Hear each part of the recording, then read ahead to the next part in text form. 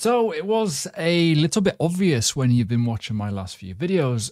Kind of warned about this sort of thing. Q3, often pretty bad for crypto. Mount Gox repayment starting in the start of July. Independence Day, maybe market close, no liquidity, opportunity, right? And as I say, no liquidity. It all kind of rhymes. So let's just crack on and get into this one, I think. Let's just have a minute silence for the economy in the UK. Um, let's be honest here. I don't want to talk too much about politics, but this, if you're in the UK, you'll probably know what this means in terms of Labour. Not the best, certainly for capital gains tax in the future, potentially. Yeah, this could get very, very spicy. So, um, yeah, the interesting one will be obviously the end of the year with the US one. But let's get into the nitty gritty of, let me move my camera a little bit. There we go. Mount Gox, their distribution has started. Um, it's all been sent over. There's been addresses been moved around, and people are said to be receiving said monies. Right? We don't know what's going to happen, obviously, but nine billion dollars worth of BTC, roughly give or take, will be sent around. And as I say, people be tickle pink, really, thinking, "Oh my god, I've just like literally got some money back. Wow, I didn't expect this." The dynamic here is fear. Fear is huge here, and I talk about this a lot on my Patreon feel free to check out the links below. Fear is the biggest catalyst in any market. Like when people think something bad's going to happen, it usually does. Often you find that liquidations happen, and we'll talk about liquidations a bit. And when there's no liquidity, when the markets are shut, and then you got this out on news, and you got Germany selling too, and it's like, oh my god, it's like, oh fuck.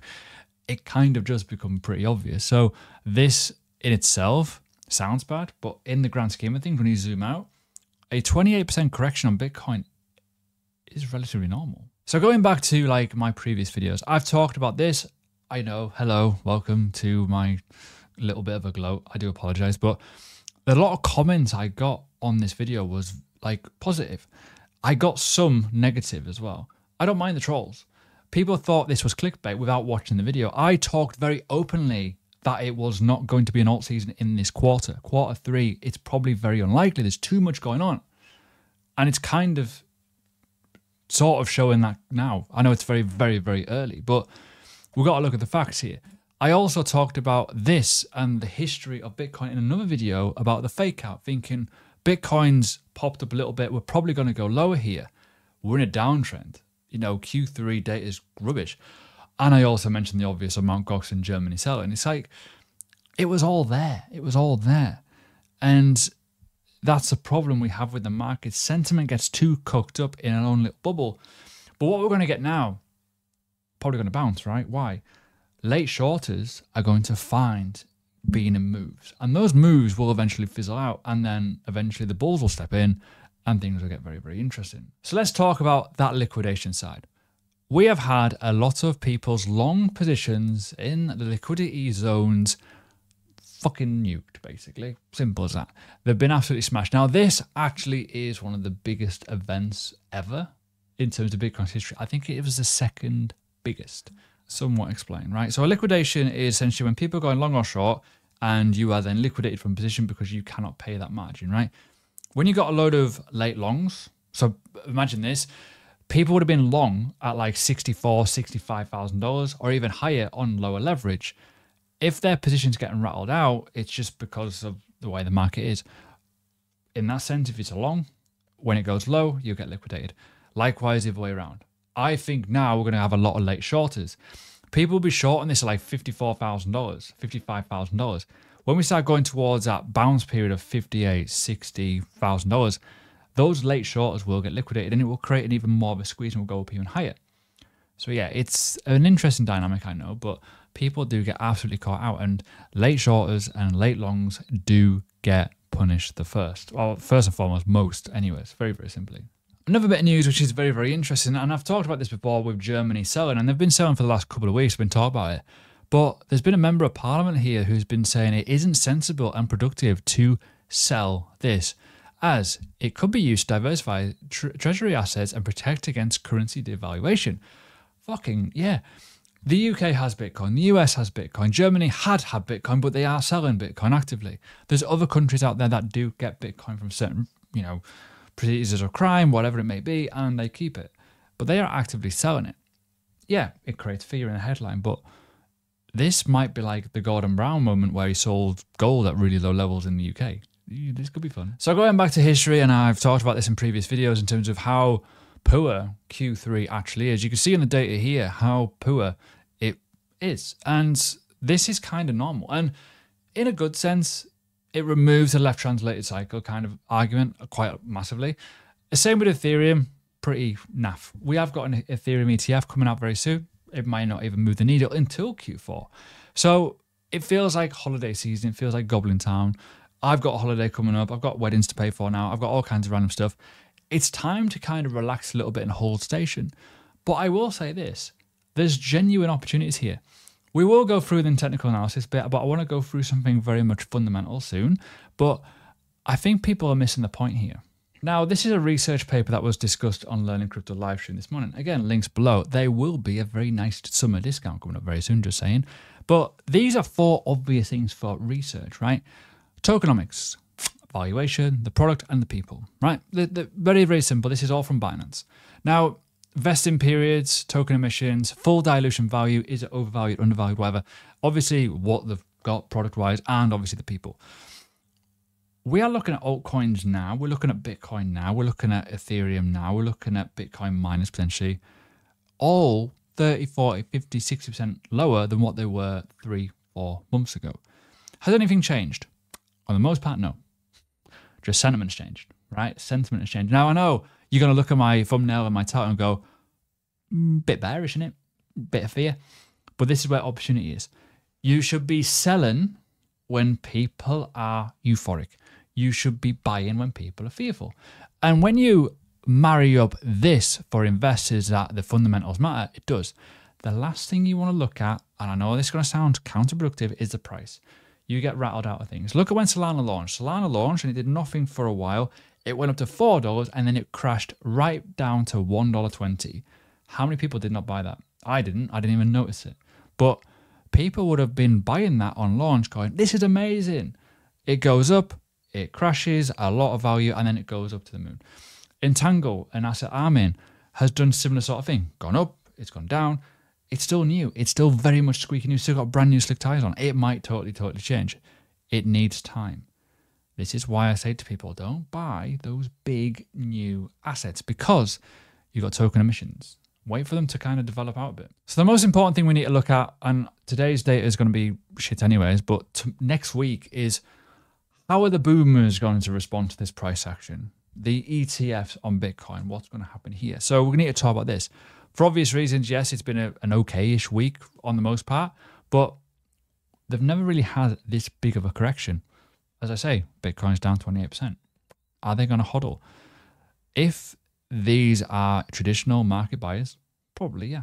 So here is some technical analysis from this morning. A little bit of a squiggle. This could be a whole new range here. We've fallen into this region and we could actually bounce up to 60k again, or we can go bounce back down to here again. We can consolidate at the bottoms or consolidate at the, bottom, uh, at the top.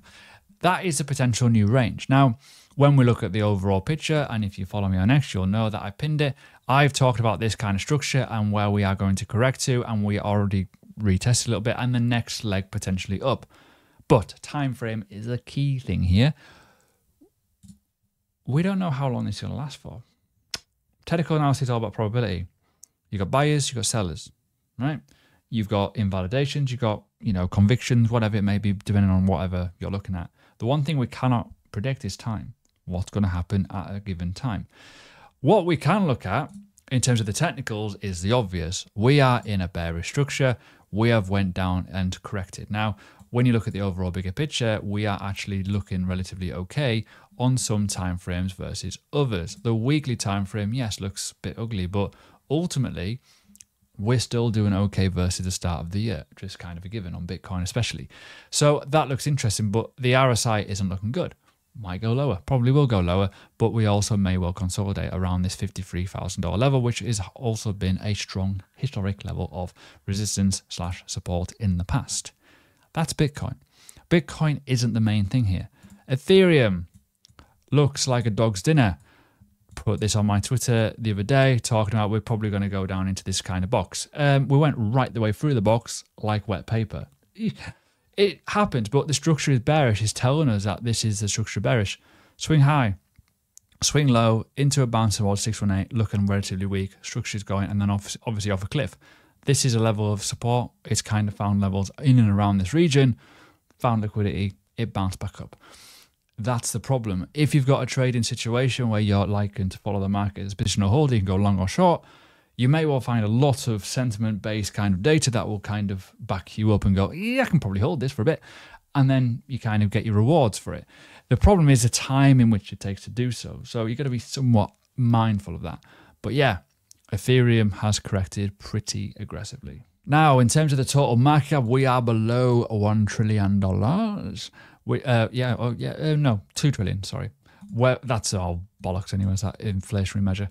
But when you look at the overall picture, it's still, yeah, bearish structure. This is a proper correction. This is a proper lower high into a lower low. We will find a level of support, in my opinion, at certain levels, and we'll start to kind of consolidate. It's just the way it is. We all know the market cycles, talked about in my last video. We've got accumulation, markup, distribution, markdown. We may well have had the accumulation down here, the markup, the distribution, and now we're on the markdown period. We will eventually find a level of support and we will consolidate. But ultimately, we're still at the start of the cycle. I've talked about it before 100 days from halving. I know it's boring for some people, but we are often lower than what Bitcoin price is. It's just the way it is. These 30, 40% corrections on altcoins, normal. This 20 to 25, 30% correction on Bitcoin, relatively normal. It's just the way it is. Now, some people are calling for Bitcoin dominance to go higher. I'm not saying high, high. I'm just saying it might well just go to these level highs again. Altcoins aren't doing as bad. Solana is actually up today. Okay. Some of the BTC pairs of what I'm tracking, Polkadot up, Solana, Stacks. These are not down massively. Ethereum money down 0.9%. Not too bad. Dominance, as you can see here, mm, okay. It's it, in most cases you probably expect dominance to just shoot. It hasn't. Dominance on some of these, as I say, has been doing well. Look at like Solana dominance. Okay. You know, absolutely mental, but it just shows you it's not just bleeding from one area, which is good. It's a mixture of all. Now, before I go on to looking at some altcoins, the S&P 500, often you find that with Bitcoin, it sources liquidity first, it's gone down. We may well find that ne next week, essentially, this could sell off, and we are at all-time highs. So it kind of makes sense. Bearish divergences, maybe, keep an eye on that one. Now, some altcoins. Chainlink, talked about this before. Looks like a good opportunity around this $10 mark. We're kind of going to go and readdress it. What about $8? Is that even possible? Potentially, yes. When there's fear in the market, people get scared. There's opportunities here. As I said to people on my live stream this morning on Learning Crypto, if you are looking at buying Chainlink at you know twenty dollars, why aren't you looking at ten dollars? You know, why are you not picking up the phone now and getting some money somewhere and to buy something, right? It's just the way it is. Talked about it before in my recent videos. I bought Bitcoin at $62,000, $63,000. It's a level of support. I don't mind taking the hit. I will buy more if it goes lower. Guess what's happened? It's gone lower. Guess what's happened? I bought more. I will do the same with stacks. I will do the same with other things as well if I think it's suitable to do so. BNB, look at this. $720 not too long ago. It's under $500 now. Polkadot, $12 five. There's opportunities everywhere. Near protocol, levels of support here. That looks like a really good solid buy area. Not financial advice, of course, but could melt lower. That $3.30 level on these high time frames could well look absolutely beautiful for a lot of people. Don't get greedy. Don't be silly about it. Just look at what the prices are giving you. It's crazy. There's loads of them. Cardano is another one. It was all the way at $80 Uh, eight dollars, eighty cents. Now it's at like thirty-four. Crazy numbers. So there we go. If you enjoy this content, leave a like. I do apologize if the market's crap. If you arrived at the market brand new, you know, bushy-tailed, fresh-eyed, all kinds of malarkey stuff, you'd be gutted right now. You'd be like, "Where's Lam- Where's the Lambos?" I mean, I'm looking at Injective on the screen, eighteen dollars. What? Crazy opportunity.